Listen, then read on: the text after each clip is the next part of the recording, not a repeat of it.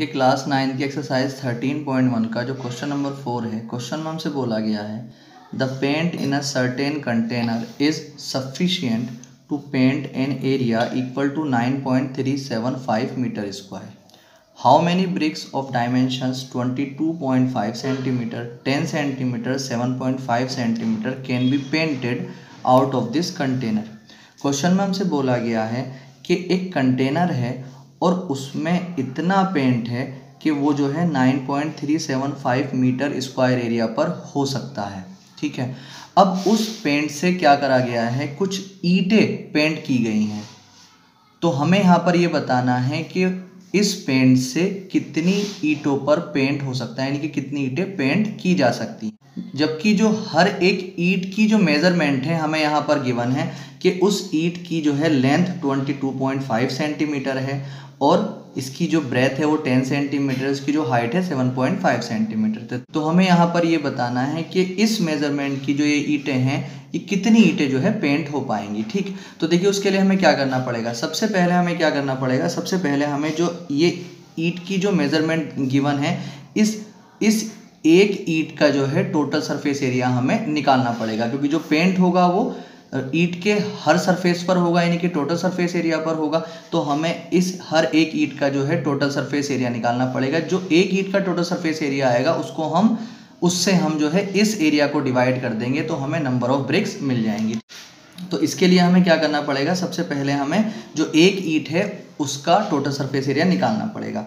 तो यहाँ पर आप लिखें फोर वन ब्रिक। जब आप एक ब्रिक के लिए काम करेंगे तो एल आपके पास कितना है? Twenty two point five centimetre. B कितना है आपके पास? Ten centimetre. और एच आपके पास कितना है? Seven point five centimetre. अब the total surface area of one brick तो ब्रिक जो होती है वो क्यूबॉइड के आकार की होती है तो इसका टोटल सरफेस एरिया कितना हो जाएगा? हर सरफेस पर पेंट होना है तो two into L B plus B H और प्लस एच एल ठीक? अब यहाँ पर टू ऐसी रखें आप। एल कितना है आपके पास? Twenty two point five multiply B कितना है आपके पास? टेन प्लस बी कितना है? टेन और एच कितना है? Seven point five plus H कितना है? सेवन पॉइंट फाइव और एल कितना है? टू टू पॉइंट फाइव ठीक है? अब अगर हम बात करते हैं तो टू को तो आप ऐसे ही रखेंगे ट्वेंटी टू पॉइंट फाइव की मल्टीप्लाई जब टेन से करते हैं तो टू टू फाइव आ जाएगा प्लस टेन की मल्टीप्लाई जब सेवन पॉइंट फाइव से करेंगे तो सेवेंटी फाइव आ जाएगा प्लस अब इन दोनों की मल्टीप्लाई जब हम करेंगे तो इन दोनों की मल्टीप्लाई आपकी आ जाएगी। देखिए, जब पॉइंट्स वालों पॉइंट्स वाले नंबर की मल्टीप्लाई हम करते हैं तो पॉइंट हटा के मल्टीप्लाई आप कर लिया करें। तो इन दोनों की जब हमने मल्टीप्लाई करी तो हमारे पास आ चुकी है one six eight seven five अब एक और दो, एक और एक दो दो डेट बाद यहाँ पर पॉइंट लगा देंगे आप।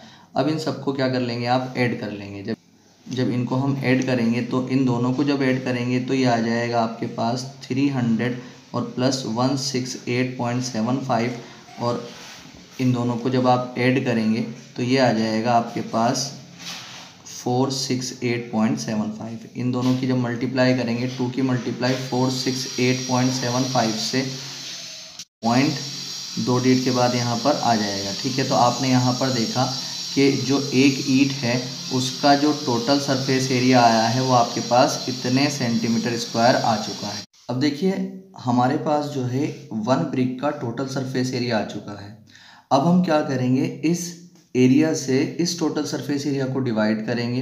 मगर आप यहाँ पर ये देखें कि ये जो एरिया है, ये सेंटीमीटर स्क्वायर में है और ये मीटर स्क्वायर में है।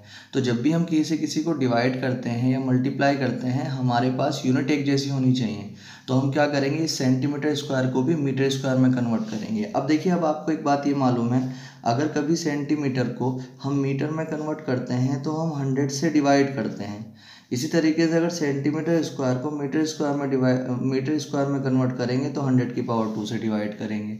तो अब हंड्रेड की पावर टू को अगर हम देखते हैं तो ये टेन थाउज़ेंड बन जाता है। कितना बन जाता है? टेन थाउज़ेंड तो हम क्या करेंगे? इस सेंटीमीटर स्क्वायर को मीटर स्क्वायर में कन्वर्ट करने के लिए हम टेन थाउज़ेंड से डिवाइड कर देंगे। जब टेन थाउज़ेंड से डिवाइड आप करेंगे तो पॉइंट हटाएँगे और पॉइंट के बाद यहाँ पर दो डिजिट हैं तो नीचे दो दो डिजिट दो ज़ीरो आ जाएँगे।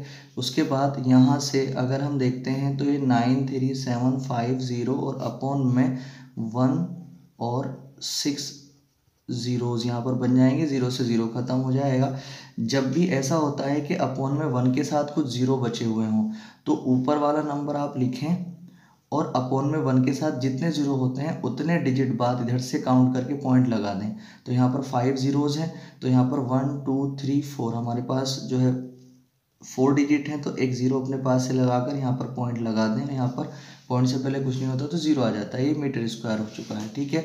तो अब आप यहाँ पर ये देखेंगे कि ये भी जो है मीटर स्क्वायर में, यानी कि वन ब्रिक का जो टोटल सरफेस एरिया था, वो भी जो है मीटर स्क्वायर में आ चुका है। अब हम numbers of number of number of bricks निकाल सकते हैं। नंबर ऑफ़ ब्रिक्स जो आ जाएँगी, वो कैसे आएँगी? ये जो nine point three seven five metre square area है, इसको हम क्या कर देंगे? इसको zero point zero nine three seven five इस एरिया से क्या कर देंगे? डिवाइड कर देंगे। यानी कि वन एक ब्रिक के टोटल सरफेस एरिया से इस पूरे को डिवाइड कर देंगे। तो अब आप यहाँ पर ये देखें कि पॉइंट ऊपर भी है, नीचे भी है। पॉइंट ऊपर से और नीचे वाले से हम हटा देंगे। मगर जब ऐसा होता है कि ऊपर और नीचे दोनों तरफ़ से हम पॉइंट हटाते हैं तो हम ये ज़रूर देख लेते हैं कि पॉइंट के बाद डिजिट किधर कम है। अगर हम बात करते हैं तो ऊपर डिजिट कम है, यहाँ पर तीन डिजिट है, यहाँ पर फाइव डिजिट है। तो जितनी डिजिट कम होती हैं, जिधर कम होती है, उतने ज़ीरो लगा लेते हैं। तो यहाँ पर दो ज़ीरो लग जाएँगे, क्योंकि यहाँ पर फाइव डिजिट थी, यहाँ पर थ्री डिजिट थी।